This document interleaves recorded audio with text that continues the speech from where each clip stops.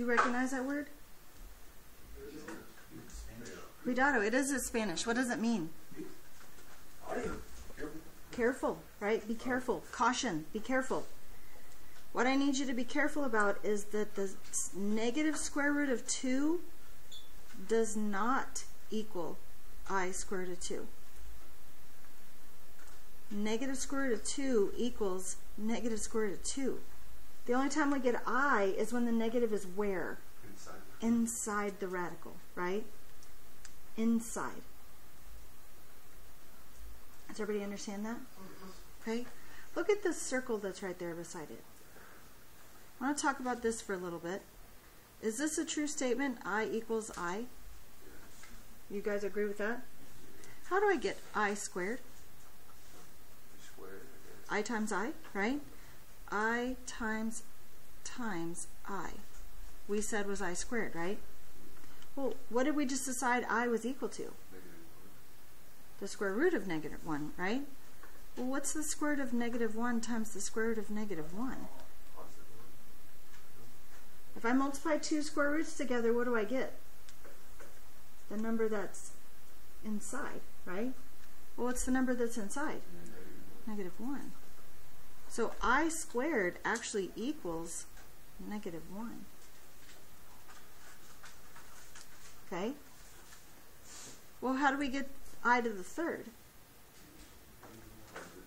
Isn't that i squared times i? Couldn't we get i to the third that way?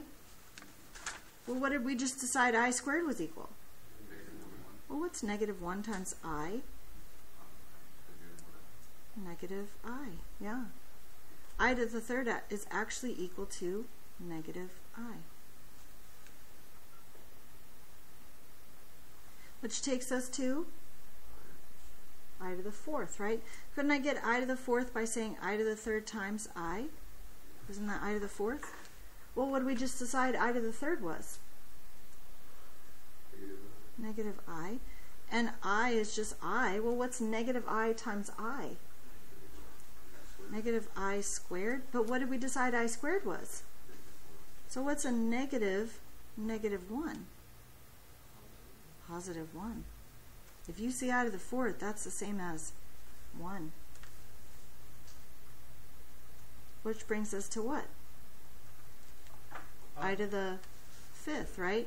Isn't i to the fourth times i equal, sorry, equal i to the fifth? What did we just decide i to the fourth was? 1. What's 1 times i? So i to the fifth is equal to i. Guess what i to the sixth is equal to? Negative 1. And i to the seventh? And i to the eighth? And the ninth? And i to the tenth? How far could we go? Uh-huh. Right? So, like, on a test, I could actually ask you, what's i to the 175th power? Do you want to sit here and count to 175? What could you do? Divide by 4, right? And your remainder would tell you which one you need to go to, right? If it was 0.5, if it was 0.25, 0.75, right? Wouldn't that tell you what your answer was then? Any questions about the circle? Kind of cool. Okay, so let's close that tab. On the front of that tab, we are going to give ourselves a reminder that i actually equals what? Square root of negative 1. Okay? Let's go down to the next tab, complex numbers, a plus bi, and graphing complex numbers. Okay? So first of all, complex numbers are written in a very specific form, and that form is a plus bi. a plus bi, okay? The a is the real part.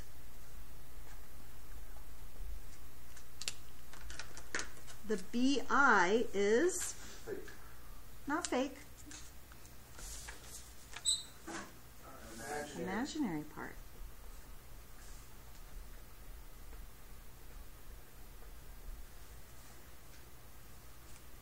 How are you going to be able to tell which one's the real part and which one's the imaginary part? The one with the I is which part? Imaginary. Okay? Any questions so far? Okay, so we can graph complex numbers because there's such thing as called the complex plane. The real axis is left and right. It's not the x-axis anymore when we're dealing with the complex plane. It's the real axis. And the vertical axis that goes up and down is the imaginary axis. So what, what if I asked you to graph the number 3? How would we graph that? Well, is that real or imaginary? It's real. So I would go over 3 and There. put a dot. What if I ask you to graph 2i? Up to, right? That's the imaginary axis, so I go up to and put a dot. Very good. What if I ask you to graph 2 minus 2i? You go to two. Over to 2, Down to negative two I. down to 2i. Very, very good.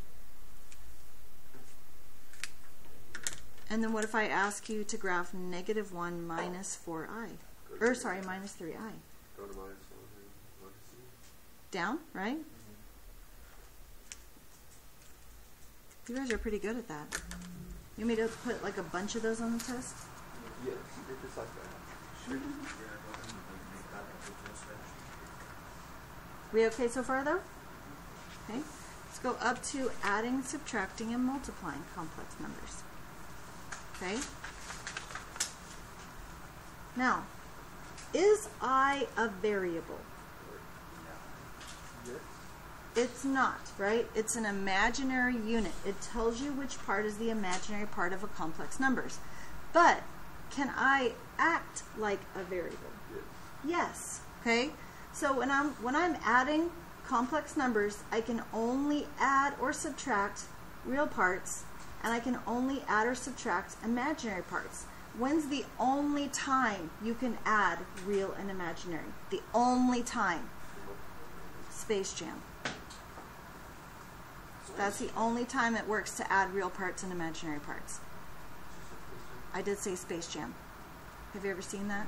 I know the movie. Yeah, the movie. That's what I'm talking about. See how that adds real parts and imaginary parts? I guess technically Who Framed Roger Rabbit, but I don't think they know that movie. No. Okay. I know it. You know it? Okay, awesome. So there's two times that adding real parts and imaginary parts works. Got it? What? Yeah, but that's all. Yeah, that's all imaginary, right? Okay. So if we're adding real parts, real plus real, then I would say 2 Plus three. plus 3. What is 2 plus 3? Five. 5. And then I could combine imaginary parts. What is 5i and negative 2i? 3i. Same works for subtraction. 4 minus 2. It's like combining like hmm Yep, I even wrote that right here. That's exactly right. It is like combining like terms. And then negative 3i minus negative 5i. Positive 2i, right? Because it's negative 3i minus a negative 5i. What happens right here? We're adding, right? Okay. Any questions about that?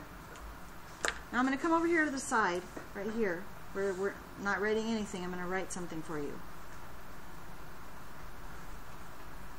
Just like, just like a variable, right? Can I add 3 plus 5x? No, because they're not like terms. But can I multiply 2 times 3 and then multiply 2 times 5x? So remember how we talked about it being like a variable? i is like a variable. Can I add 3 plus 5i? No. Can I multiply 2 times 3 and 2 times 5i? Yes. Okay, that works. So now let's look at multiplying complex numbers. Negative 10i times 2i. Negative twenty I squared. Negative 20i squared. squared. But what's true about that? Same Negative thing one. as It's negative 1. This is negative 1. So really what I have is what? negative twenty. Negative times negative 1, which is what? 20.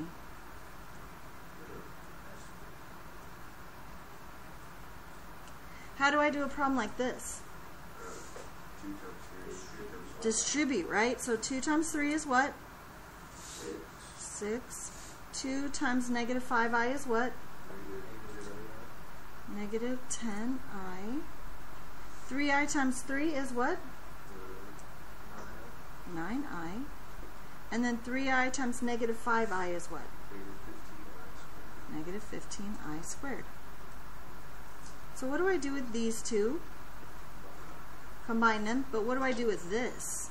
Two times the negative. That's negative 1. So my real part then is what? 6 and 15. What is 6 plus 15? 21, right? Do you understand that this is not negative 15 and negative 1 to make negative 16? We're not adding these two numbers together. Do you see that? We're multiplying because it was 15 times i squared. So it would be negative 15 times negative 1. Does everybody understand that that's plus 15? Okay? What do I do with the imaginary parts? And what do I get? So minus i. Could I put minus 1i? But could I also put minus i? Does it matter? No, it does not. Very good. Okay? Any questions about adding or subtracting? Let's close that one. Let's slide down to this last tab. Complex conjugates. We already discussed conjugates last week. Do you remember that? Do you remember the word conjugates? We talked about the word conjugates.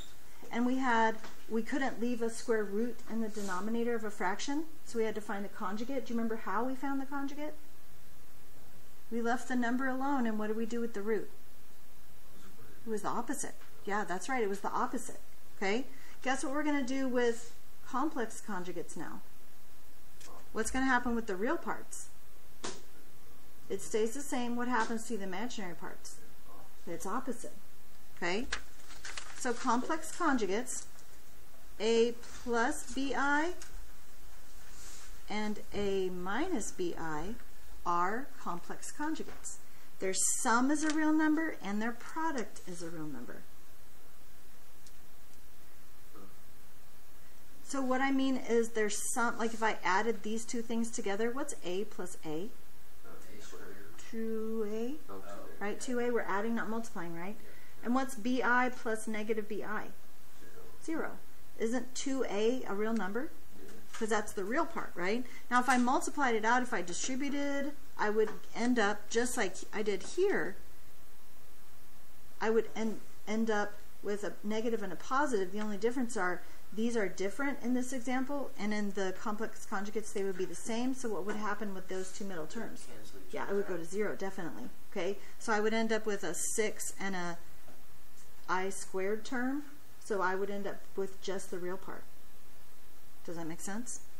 Yes? Okay. So, first of all, let's practice finding complex conjugates. Okay? What is the conjugate of 8 plus 5i? Eight minus minus 5i. What is the conjugate of 4 minus 3i? Four plus three, uh, 4 plus 3i.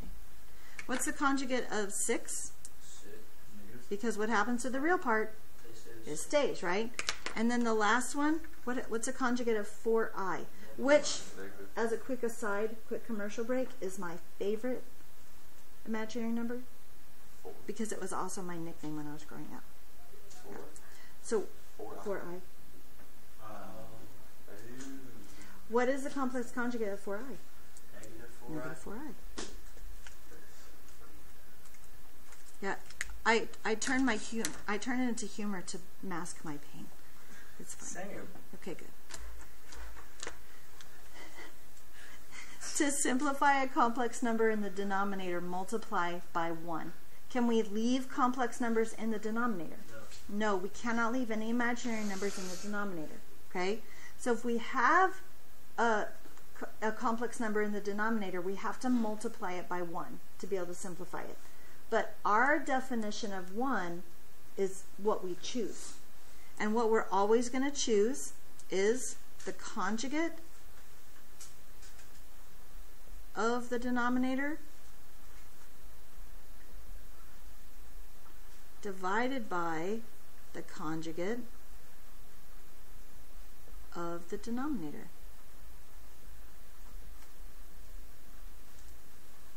Now, last period they said, that's weird. And I was like, yes, it is, right? But only thing I can multiply by something that it doesn't change the value is 1, right? But I get to choose the value of 1 that I, that I want to, to make that um, complex number in the denominator go away. That's the only way I can simplify it is by making it go away. And I make it go away by choosing the conjugate of the denominator. Okay? So let's look at this first example. 7 divided by 3i. Well, what is the complex conjugate of 3i? Uh, negative three line? Negative 3i. So if I multiply numerator and denominator by negative 3i, watch what happens. Oh, it cancels out and then it becomes on the top. What is 7 times negative 3i? Negative 21 I. Negative What is 3i times negative 3i? Negative nine Negative I. 9i squared. Very good. But that's negative 1. Right? So what I have is negative 21i divided by 9. But I promise if you put that in as the answer, it will say it's wrong. And there's the imaginary numbers too. Nope. The imaginary number's in the numerator, and that's okay. Because it's negative? I don't know. Good guess. It should be, you can simplify it, can't you? They're both divisible by what? 3. So divide them both by 3. What do you end up with? Divided by 3. Now, you know and I know that somebody's going to see this problem and this answer and say, oh, okay, so we just move the i up and make it negative? No, it just happened to be that in this example. And I did this one on purpose so you can see that uh, that's not really what happened. Because if, the, if this was a different number, that wouldn't simplify as easy, would it? Okay, so don't just automatically think that. Just because this example happened to be that way, don't always think that. And for proof, let's do one more example. Okay? 6 plus 4i divided by 2 minus i. So what is the complex conjugate of the denominator? 6 minus 4i. the negative, okay, two plus I. 2 plus i, right? It's the denominator that we have to choose, right? So 2 plus i divided by 2 plus i. So is it okay if we start in the numerator? Okay, 6 times 2. Twelve. 6 times i. 6i. 4i times 2.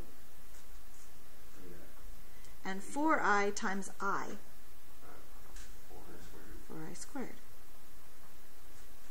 Okay, so far? Denominator, 2 times 2. 4. 2 times i. Two. 2i. Negative i times 2. Minus 2. And negative i times i. I squared. i squared. Minus i squared. Yep, that's right. So in the numerator, first of all, we have these two things we have to deal with, right? And then we have that to deal with. What does i squared equal? So what I have in the numerator is 12 minus 4. Eight. 8. And then I have, for the imaginary part, 6i plus 8i. 14i, yep. Now in the denominator, I have these two things to deal with, but this is really nice because what happened? That's 0, isn't it? And what happens here? Negative one. Negative 1, so what is minus and negative 1? Sorry. Positive 1. Yeah, so I have 4 5. plus 1. So, 5. If you put that in, is it right? Yes. Because there is no imaginary number where? Denominator. In the denominator. Okay, so far? Yeah. So Can I show you something?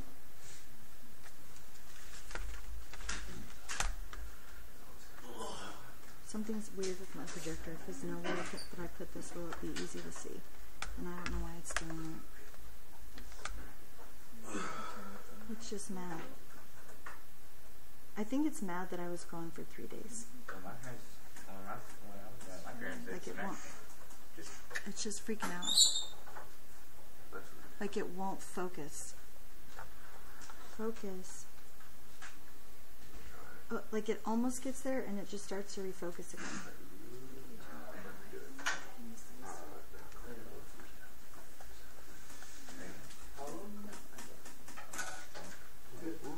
Oh, oh, it was almost there. Okay, just stop, stop, stop, stop. stop. Okay. All right, here's what I want to show you. I want to make a fraction. And it, now it's not even going to let me let you see it. Where can I put it so that you can see it? I don't. leaving off the light. See? Maybe if I zoom in a little bit more. Okay, let's try this. I make I made a fraction. I'm going to put in six plus four i,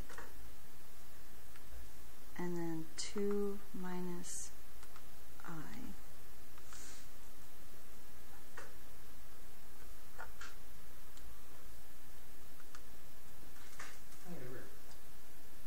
Is that what we got? Yeah. Eight over five plus fourteen over five i. Is that what I got? Yes. 8 over 5 plus 14 over 5i. So I can do this in my calculator. Oh. So I could put 7 over 3i.